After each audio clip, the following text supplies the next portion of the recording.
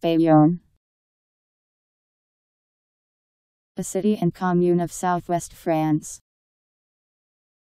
A city in Hudson County, New Jersey, United States.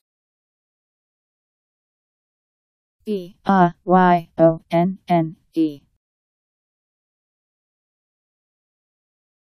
Bayonne.